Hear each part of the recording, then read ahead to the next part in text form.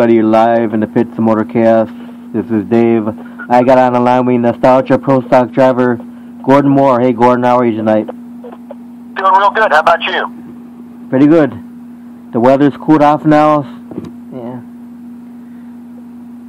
So, Gordon, first question: uh, What got you started in drag racing?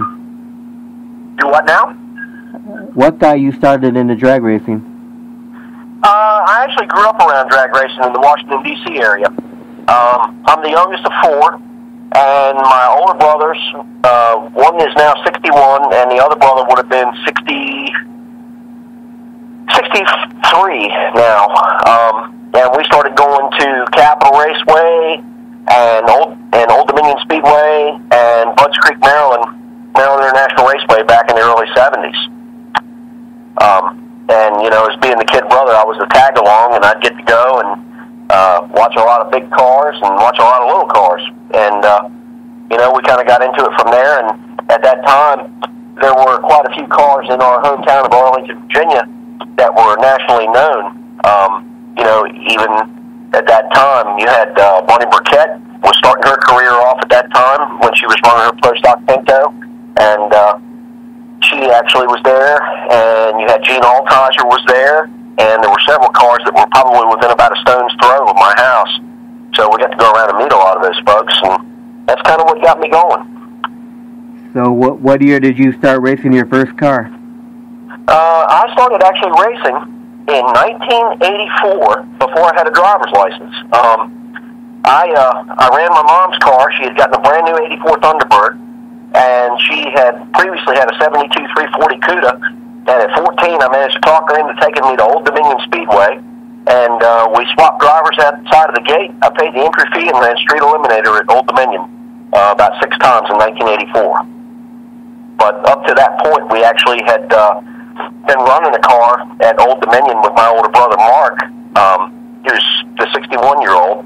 Uh, we had a Cougar that had actually been a NASCAR Ultra Stock car, which was like an AFX type car um, in the 60s and early 70s that we had bought, or he had bought in like 1977.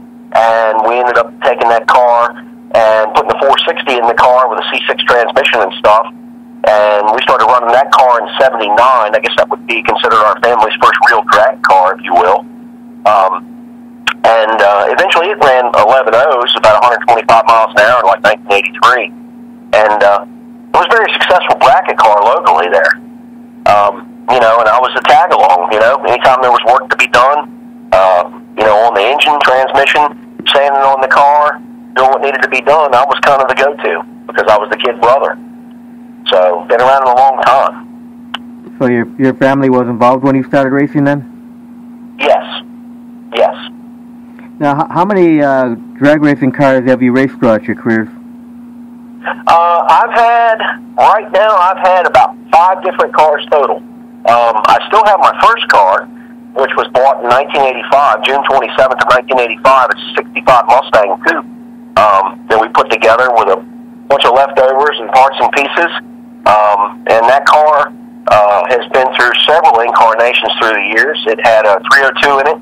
Uh, when I first started bracket racing, I guess you could say full time in 1986, the car ran in the 12s at like 110 miles an hour. Uh, got my feet wet with that deal. And then uh, in 1987, I built a Windsor for the car, and it ran like 12 O's, 11 90s. And then in 89, I back half the car. Um, and the car ran like 11 70s to 11 90s, somewhere in that range, um, with the same Windsor. And then I had an opportunity to buy an Opel Kadett gasser that was pretty well known around the D.C. area. Um, it was built by Don Hardy back in the late 60s, and it had belonged at one point in time to Jim Yates and his brother Jeff, and they had run the car with a big block Ford and a Turbo 400, and uh, I got a real good deal on the car in 1992, um, and we put my Windsor in it, and the car ran like 1120s, 1130s, and I ran that until about 95, at which point I was going to build a new body style Mustang because I was a Ford technician by trade for a long time, and uh, I sold the Opel and the Windsor and all the pieces and was going to build a tube chassis 94, 95 body Mustang, but ended up not being able to get a body in white. And in 1995, about June, I decided, you know what, I'm not going to wait around any longer, and I cut the 65 up and went to Vanishing Point Race Cars in Telford, Pennsylvania, and bought a kit and put the thing together in a one-car garage. Um, and I've still got the car today. And then uh, we ran that car throughout the years, and then we had a dragster for a little while with small block Ford in it. Ran pretty good. Uh, ran 540s in the 8 mile down here. And then uh, the dragster deal was boring to me because there's electronics and power glide transmissions and air shifters and all of that, and that's just not my style. Um, and essentially, we uh, traded the dragster rolling for another Opel Kadett. It was a station wagon, and put the engine in the wagon with a C4 transmission, three speed, and the car ran like 670s. And then uh, we ran that car for about four or five years off and on, and um, then we got the bug for this nostalgia pro stock thing and decided, you know, let's maybe think about looking around and doing this. And uh, in 15, we found the Mustang 2 that we currently have put together as a nostalgia pro stock car. Um, and with the help of my partner, Dr. Ronald Burgess, uh, we were able to procure the car and uh, put the thing together. So now, how did you come up with the name of the car? Uh, it's kind of an interesting story there. Uh, being that my family's been involved with this drag race and stuff for all these years, you know, we've been around it basically 45 years now when you look back at it. Um, 1977 was the first Mountain Motor Nationals um, stock race at Budds Creek, Maryland, and it was put on by Todd Mack and Larry Clayton, and it was a Wednesday night. It was a Wednesday night. Uh, run what you brung, hope you brung enough. Throw the rule book out the window and my oldest brother um, took me over there, and there were probably 40 to 50 cars on the property. And mind you, at this point, I'm probably a seven or eight year old kid. And by this point, I was sealed in the deal that I was a Ford guy. And we watched the race, and it went on and on and on, and it probably went till about 1.30 or 2 o'clock in the morning, Thursday morning. And wired for sound, uh, I asked my oldest brother, I said, you know, I said, if you had a pro stock car, what would you call it? And he said, if I had a pro stock car, it would be called the Rhinestone Cowboy because that song was very popular on the radio at that time. And uh, it kind of stuck with me through the years because he and I were pretty close. And uh, unfortunately, he didn't live to see all of this come to fruition. He's been gone about 21 years now. Um, and uh, when we started putting the car together, we looked at doing a wrap on the car and doing some different things. And I just kind of stood flat-footed and said, you know, I think I'm going to call this car the Rhinestone Cowboy because that was the name that my brother came up with 40 years ago, almost, at that time. And, uh, you know, we're just budget racers. You know, we run uh, stuff that we've had, stuff that we've bought used. Um, most of the parts and pieces are period correct pieces. And, um, you know, it's nothing really fancy. It's pretty much built as a late 70s pro stock combination. So that's pretty much where the name came from. Was my oldest brother. So what uh, drag racers were inspirational to you when you started drag racing? Do what now? What drag racers were inspirational to you when you started drag racing? I'm going to tell you straight away, from a little kid on, Dino Don Nicholson was my hero and still is to this day. Um, I'm very fortunate to call his daughter uh, Cindy my friend through Facebook, and I've had several conversations with her. Um, she she's really been nice about the whole thing too, just talking with her about her dad's car and stuff. But Dino was my guy because the guy was so calm, cool, and collected. And I don't know if you've ever seen all the pictures that were taken of him match racing and doing all these things. Anytime you see pictures of that guy in that car leading the starting line, he's got a big old smile on his face. And you know, he had his heyday in the '60s with Ford, where he had the big sponsorship and all that but by the he was kind of in the twilight of his career by the time I started following him, and he really didn't have a whole lot to spend on the stuff. He was running stuff that he had, and then he could come up with, and uh, basically training his protege John Causey at that point. point, and uh, you know he just was always kind of cool, and he always took the time because at that time he did a lot of match racing in the DC area at a lot of those smaller tracks, and he stayed with Dickie Estevez, who actually still lives in Maryland, about two miles down the street from the old defunct Aquasco Speedway. And uh, we'd always make a point when we knew Nicholson was in town, we'd stop and see Dickie because he's a Ford guy too. And uh, you know, getting to know Dino a little bit and talk with the guy and all that, he always made time for me as a kid.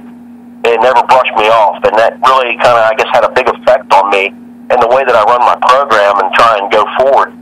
Um, you know, it's not always about the the biggest engine or the biggest amount of money spent.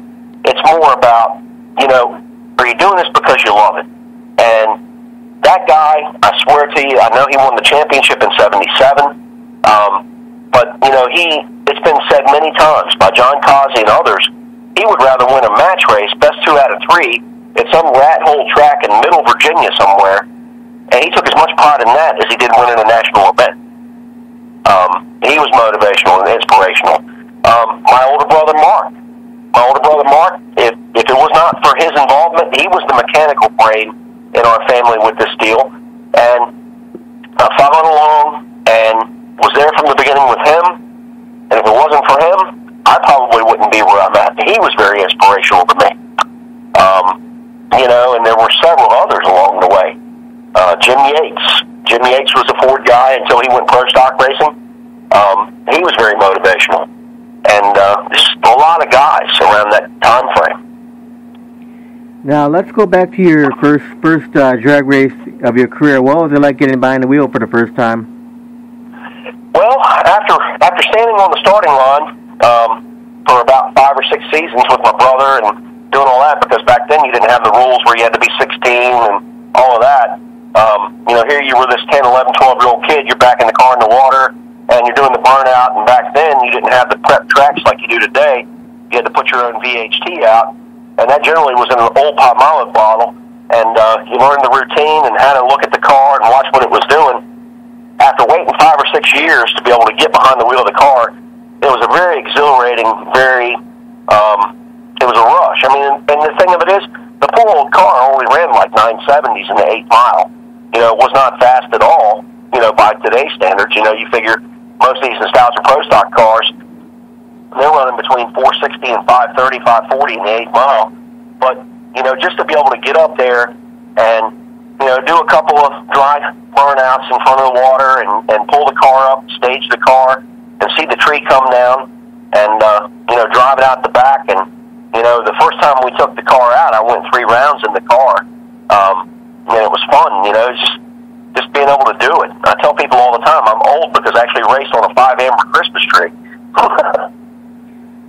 so, so what's the quick quickest run time you've had with the current Pro Stock?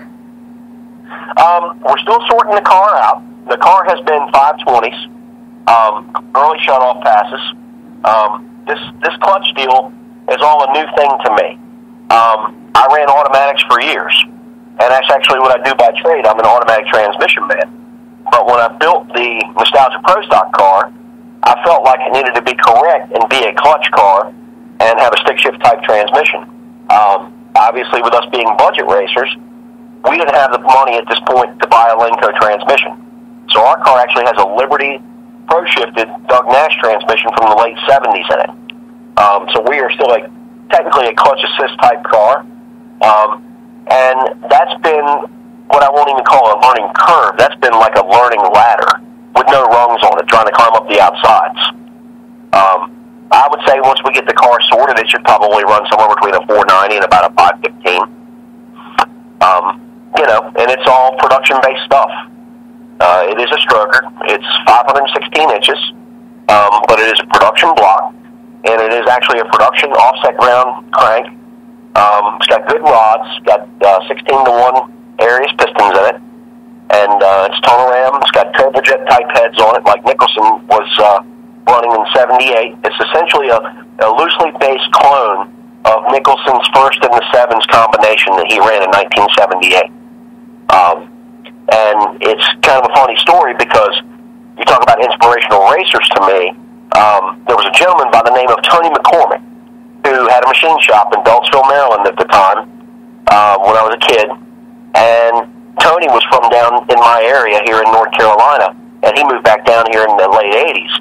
And uh, he's essentially, uh, he was a big Ford guy. He had Paula Murphy's old Miss STP Mustang and had cut that body up and made it into a bracket car and then did some match racing with it with big block Fords and that kind of thing. And uh, when we were putting the cowboy together and had the car, I had a friend call me on the phone and said he had a short block that he had taken in trade, and uh, if I would be interested in it. And when I went over and looked at it, and I started checking some stuff on it, that short block was actually built by my friend Tony McCormick in 1999. So there's a little bit of legacy in the car, even from back in those days. So what year was the car? What year was this car built? Uh, this car here was built actually in the early 90s. Um, it's not an original Pro Stock car. It is a it is a clone or a tribute car.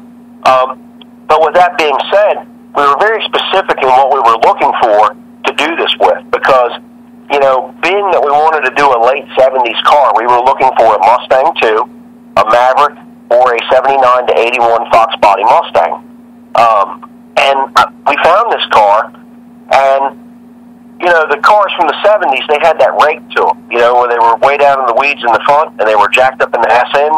Right. Um, and this car had that look to it. And after seeing some pictures of the car um, and where it was at, the car actually was certified a 749 because the entire rear roll cage and the rear frame rails and all of that were redone in the car in 2005. It is a four link with a wishbone, with an anti-roll device, and all the back half stuff is chrome moly. But it was originally an Alston Pro Gas chassis car with two by three frame rails and A arms in the front. Well, not sure if you're if you know or if your listeners know, Alston Pro Gas chassis was actually designed off of a late '70s Pro chassis, and this car still has the main two by three frame rails from the four link mounts forward with A arms up front.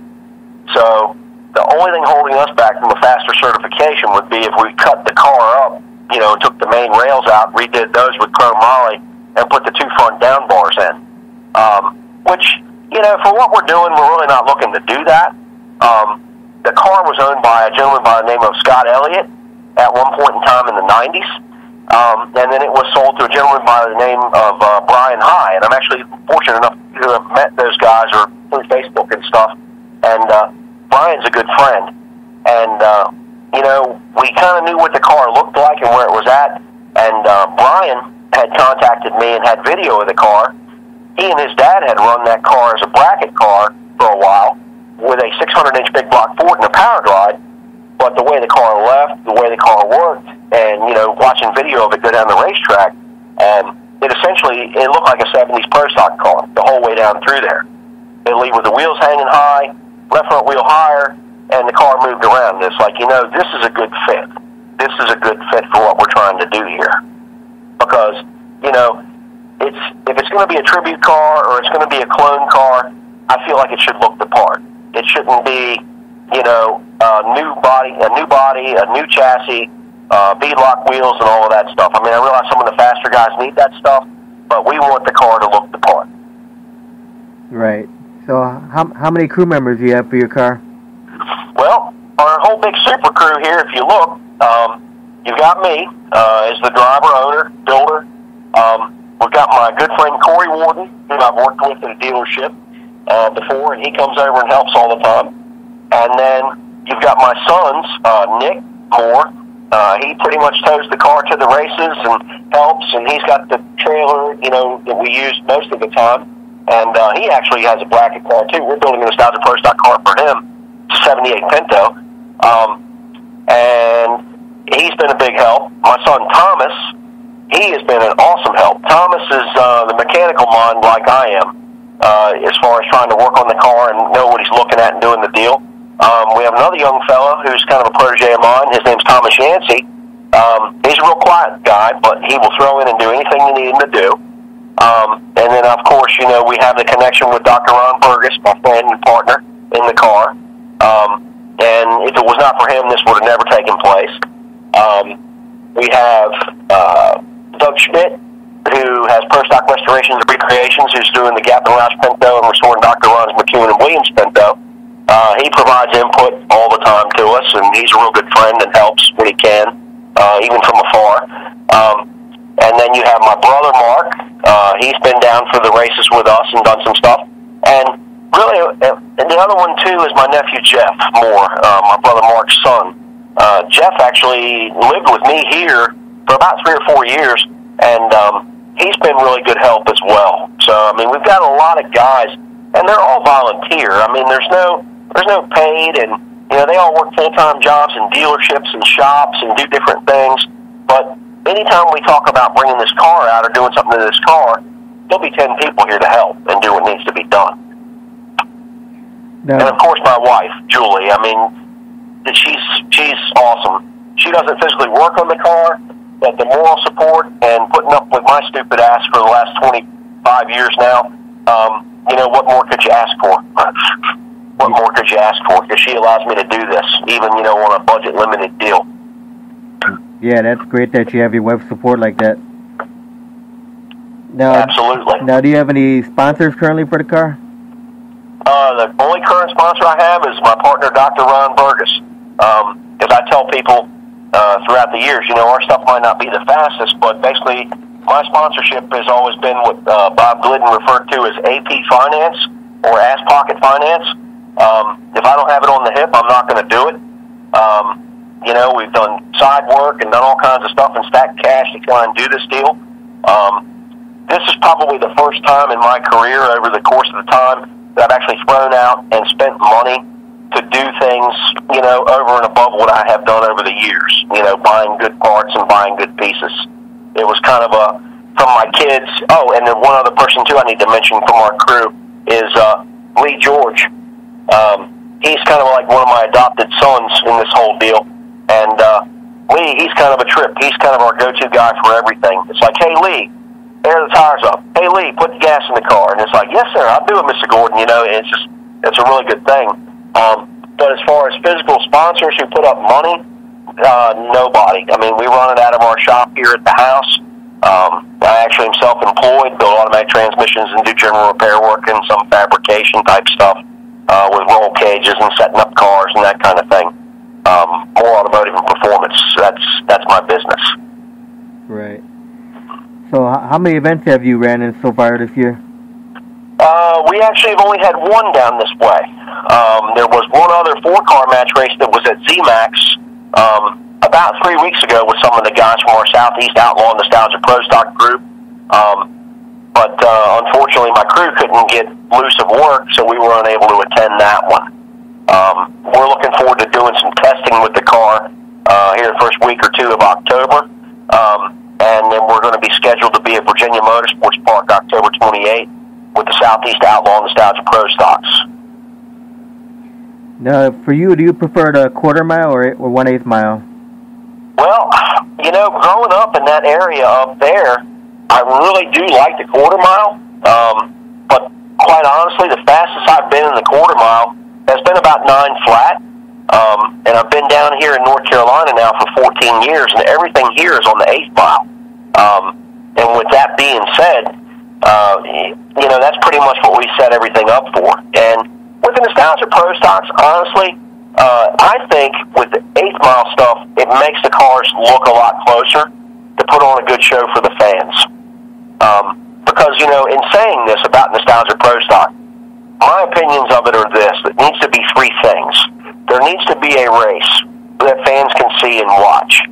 There needs to be a car show where you can have some of the older guys come out that ran the stuff back in the day with some of the restored cars that they're not going to run because they're worth money. And it also needs to be a history lesson so we can get the younger generation involved and let them know, hey, look, at one point in time, pro stock cars were not bubble cars. They were not, you know, all Camaros or Camaro stock, as a lot of people have referred to it on the net and on Facebook. You know, you had brand parity. You had all of these things. Um, you know, I remember being in Englishtown, New Jersey in 1983, and there were over 40 pro stock cars on the property of about every stripe you could think of. Um, you know, and, and you had Fords, Chryslers, uh, GMs of all stripes, Mercuries. Uh, hell, you even had Larry Paternal there was uh, Chrysler Imperial at that time. So there was a lot of there was a lot of cars and a lot of interest in the class, and uh, I think that you know the modern cars are really quick and they run really well, but the show is not there. I mean, uh, looking at Indy with the burnout competition, that really, you know, look at the fans that were going back to to watch the class that for years just didn't watch. You know, there has to be some show there. Right. Oh, so what are some of your favorite racetracks? Um, I'm going to be honest with you. I've got a lot of little small rat hole places that I really like. Um, I really, well, I say rat holes, but I mean just local places. Um, you know, the one I miss the most is Old Dominion Speedway. Um, I'm good friends with uh, the Gores who own that, and when it closed at that point in time in 2012, it was the oldest continuously operating drag strip in the country because it had been there since 1953. And I guess it was because that was Old Home Week. You know, that was um, racers who had raced there for decades and, and generations of racers through family that were there. And it always felt like home. Um, I really, in all honesty, um, have a new favorite that I'll enjoy down this way. We went to Fayetteville Motorsports Park about three weeks ago for a classic gear jammers race with the black uh, 65 Mustang, and uh, that's a really neat place. It's an older track. Um, at one time, it was called Cumberland County Drag Strip, and uh, the place looks like a golf course in the pits because it's got the the big hanging pines and the sand hills and all of that, and it's kind of a neat place. Uh, the track prep was awesome. Um, as far as big tracks go, um, hands down, uh, my old home places. Budds Creek, Maryland, where we started up there, and uh, Capital Raceway in Crofton, Maryland. Uh, Capital's going through some ownership changes and stuff, but I know the new guy's trying to really put a good program together um, to keep his bracket program alive. But a lot of folks don't realize at one point in time in the 60s and 70s, Capital Raceway was pretty much the Orange County of the East Coast. Um, the place has got 10 staging lanes. The track was super wide, beautiful facility. And at one time, before they had the fancy, uh, you know, the starters for the supercharged cars, they actually had the roller starters in the ground there, like they had at Orange County and stuff. It's a neat place. Um, and another long defunct one uh, that's kind of a ghost track now because it's still there was uh, Quasco Speedway in Maryland. Uh, that track was closed in '79 uh, we were there for the last race, and it looked like somebody closed the gate, put the lock on it, and never came back. So you, you've got a lot of places that you know you've been and been to. I've actually um, that's one of my hobbies, I guess you will. Um, when we travel and go different places around the country, I like to stop at different tracks, open, closed, or otherwise, and just kind of check the places out. Um, I'm not. I'll be honest with you. I'm not a big fan of the ZMAX thing. I think it's overkill. I think it's overkill. I'd rather have a more intimate venue, if you will, where people can get up on the cars and be close. Right. Beautiful facility, but it's not really. It's not really my style. I'm more of an old school kind of guy. I like the. I like the old places with the wood bleachers and the soul. You know, it's you've got you've got to have the connection with the fans. You've got to have the connection with the facility. And places like that, it's like going to the freaking hospital. Yeah. Now, Gordon, throughout your uh, drag racing career, have you had any accidents or near accidents? Um, I have had a couple of close calls in the 65. Um, about 15 years ago, uh, we were running through some suspension issues with the car, with it being a home-built deal and uh, for a long time, we ran basically what I like to call lug motors in the car, low compression stuff, um, pretty basic stuff.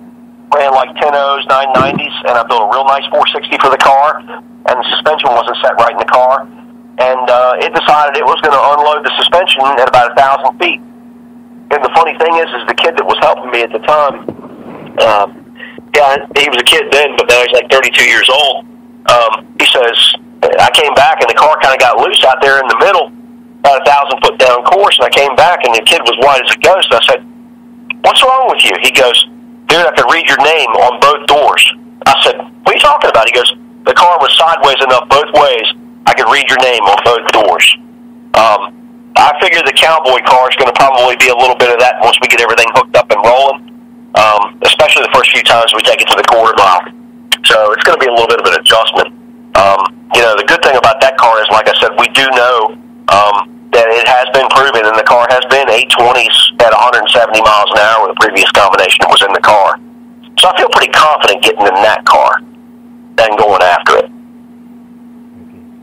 Now, Gordon, you ready? But that's pretty much it. You ready for the fun fun segment question of the show now? Sure.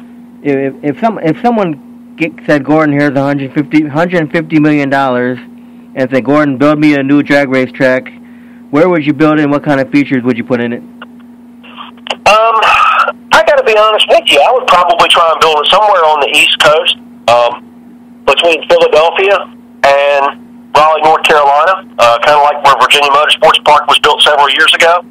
Um, and I would want to see, you know, I'm not a fan of the four wide thing. I would just like to see a real nice top notch facility with uh, a lot of amenities for the spectators and for the racers.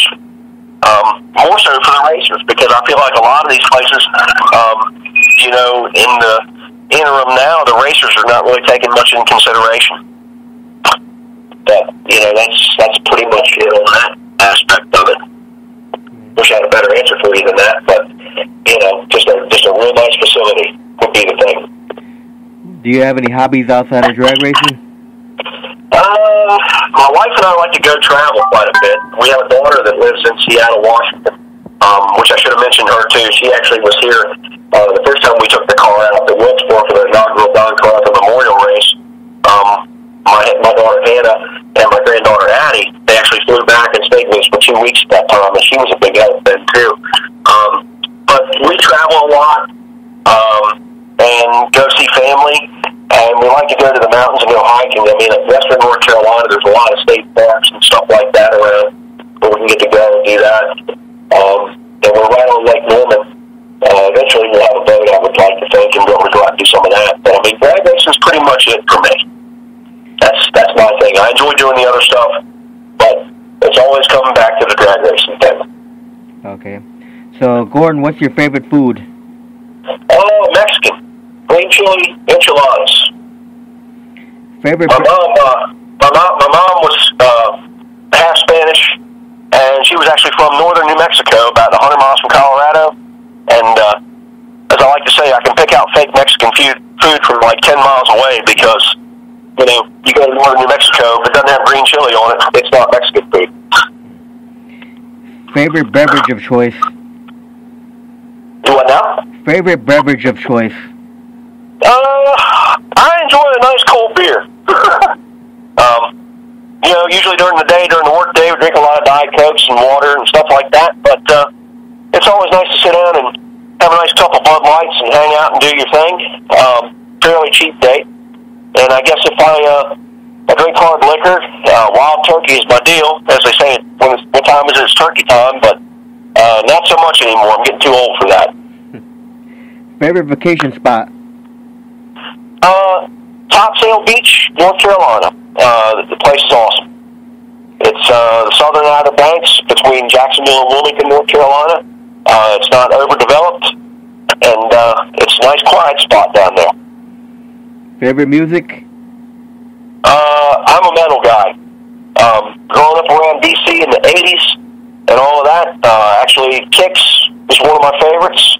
Uh, got the best uh, big fan of like the Foo Fighters. Uh, actually, met Dave Grohl on several occasions when I lived up there.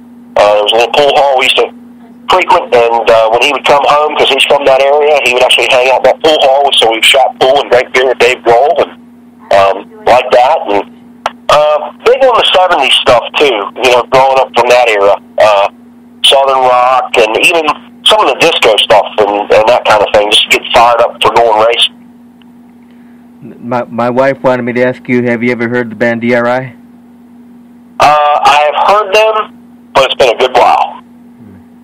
Okay. Slayer? How about Slayer? Uh, not heard them. Metallica, Megadeth. Oh yeah, from the old days. Right. Metallica before the sellout. Right. Um, actually, my brother Mark, the one I was telling you about when we got into the racing thing, when I graduated high school in 1987 um, we went to the Monsters of Rock show at RFK Stadium, and that's when Metallica still had not had any airplay on the radio. And uh, it was a general admission show, and we got about six people from the stage on a 60 degree day, and it was probably about 130 degrees down there. And that was probably one of the coolest experiences ever. was that was that the show that Van Halen was on? Uh, believe so. I, I, believe so. It's been a long time because I mean, at that point, um, you had uh, the Monsters of Rock show.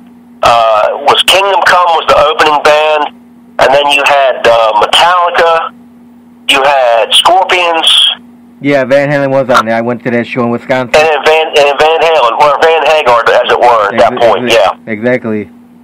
Yep. Now, for you, if, if you weren't drag racing, what do you think you'd be doing? Man, it'd be hard to say because, like I said, you know, this is what I've done my whole life. And you know, it's funny. My brother Mark was here to tell you, um, he worked at a Ford dealership, and uh, Old Dominion when we started racing. A funny story here for you. Uh, we started racing. We run on Friday nights at Old Dominion, and I'd get out of school about three o'clock. Well, this is like back in elementary school days, and the school was like less than a tenth of a mile from our house. I mean, you know, you walk there in five minutes.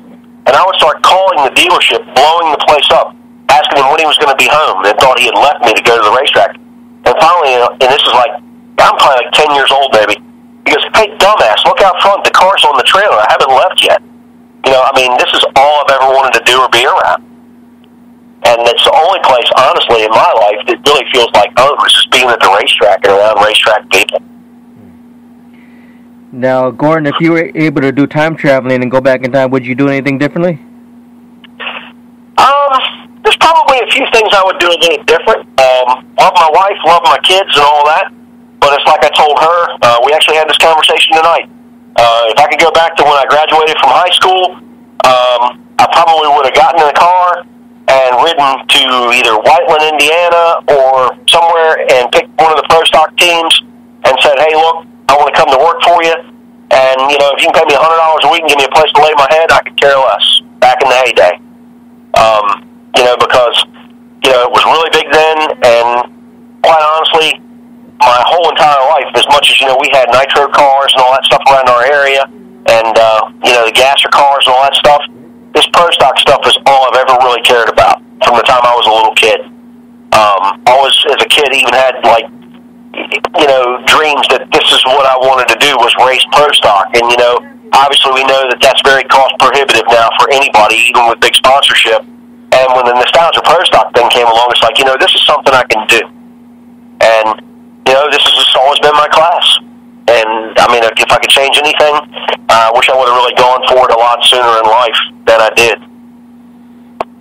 So, what what interview did you listen to back in the heyday? Do I now? I said, what interview did you listen to back in the heyday? No, uh, what interview of yours did you listen to? Uh, what? Oh, mine? yeah. No, my wife was asking, what interview of mine did you listen to back in the heyday? Well, the one the one that got this started for me was with Dr. Ron. Here's the question. Yep, Ronald Burgess, Dr. Ron. Yep. Yep, old Dr. Ron. He's a hell of a character now. I'm going to tell you, he's a really good guy. And, uh, you know, and uh, just so we don't leave Bob Merrily out, uh, Pro Glass kicks ass. So he put me up to that one too, but Bob's a pretty good guy too. And, you know, a lot of guys give him a hard way to go, but I really think he has the best interest of the class at heart, quite truthfully. So you heard the back in time interview question? Yes. That's why you were prepared? Mm, possibly. Yeah, Possibly. I kind of figured that out. Well, you know, the thing of it is, is if you go look around, and even like on my Facebook page from uh, the spring, from the spring, uh, James Amos, the Be On Video guy, he came to Wilkesboro in May and did a documentary type movie that he's working on now, and came around and interviewed all the drivers. Um, he spent quite a bit of time with me, and we talked and stuff, and he was pretty happy with you know the conversation that we had. And if you go back and look through um, my Facebook page, you'll see my interview from last August at the inaugural Don Carlton Memorial Race, and uh, it went pretty good for a while on that deal, and you know talked about the class and, and the direction of it. I mean, I, I really think that the southeast, if we can just get things rolling and get the fan interest there and get the tracks to schedule us some events and do the deal, I really think we'll take off here because this is kind of the hotbed of this stuff from back in the day, you know. And you've got a lot of older guys here that want to come out and see the stuff. And um, you know, my interview from last August that I had at Wilkesboro, I had basically about nine hours of sleep in six days at that point because we literally finished that car up. Um, Saturday morning of the race at like three fifteen was the first time we had fired the motor. Okay. Literally, it, we got the motor running and had it running for about five or ten minutes. Like, load the damn thing in the trailer. We're going tomorrow. Win, lose, or draw, and see how it goes. Okay, Gordon. Let me, tell, let me tell you something. Let me tell you something. These questions, I've written them out three years ago. These questions were not nowhere over the internet. Nobody had these questions before. I wrote these questions out three years ago. So it seems like Right. the person who interviewed you probably stole my questions. Anyways, it's, Well, maybe, maybe not. I mean, it's okay. I, I'm a pretty, I'm a pretty, I'm a pretty low, I'm a pretty low key guy. I mean, I, you know, I shoot from the hip, and a lot of guys will tell you, um, I'm not, I'm not the taste for everybody, as it say, as they say, because I shoot from the hip. No, no. I shoot from the hip. I'm just saying other people are using my questions. That's cool. I wouldn't be surprised. So I'm gonna. Um, Ron Burgess just texted Dave and he said hi. And my last question is, any last words for the? Well, what's your fondest memory of, in your drag racing career? Quite truthfully, my brother Mark and myself, we've had our ups and downs through the years, but the racing thing has always been the connection. And win, lose, or draw, our our event last August at the Don Carlton deal didn't go the way we wanted because we fought some new car troubles that you know anybody would have fought. But my fondest memory is probably the 15 days leading up to that race and the day of that race, um, we worked on the car nonstop. I mean, literally like 18, 20 hours a day, people going in shifts. And I was here. I took off from work. And at that point, I was working at a Ford dealership. And, um, you know, we're thinking we're not going to make it. And Friday afternoon, we ran into some bugs and, and all of that. And my wife comes up, she goes, Here's this box that you kept asking about that got dropped. Dr. Ron and actually gone to Carl White Safety Equipment and ordered me a complete brand new driving suit that you've probably seen pictures of on Facebook. And it has Rhinestone Cowboy embroidered on the back of it. It's purple and black. It's got Ferguson Moore on it. It's got my name embroidered on it and all of that. She says, I was told by Ron, if you get discouraged and you're ready to throw in the towel, to open the box. And, you know, just that. And then that Saturday, my brother, I wasn't sure if he was going to come. Because my nephew was coming with his car, but I wasn't sure if my brother was going to come because he still lives in Virginia. And my brother showed up, and I'm unloading the car, and he rolls up and gives me a big old hug. And he says, dude, you made it. You finally did it. And to see, you know, the 50, 60 people around my car up there, you know, here, I'm just this guy, you know, I've been around this stuff a long time. I've got a lot of friends. I know a lot of people. But just all this, this help and family, and, and I consider them all to be family and extended family. You know, just how everybody threw down. That, that 15 day stretch, you know, that's, those are my fondest memories of this stuff. And, you know, it's not even about on track performance. Ho- Hold It's not even about a win. Hold on, Gordon. I got one minute left. I gotta get this in before the show ends. So, your wife likes it when you get down and dirty in the car? Uh, yeah, absolutely. Okay. That was my final statement. Well, thank you for your time, Yep. Gordon. Absolutely, and thank you all too. I definitely appreciate it. We'll do this again in the near future. Okay, great. Y'all have a good evening. You too, my my dear. Bye. All right. Bye. Bye bye.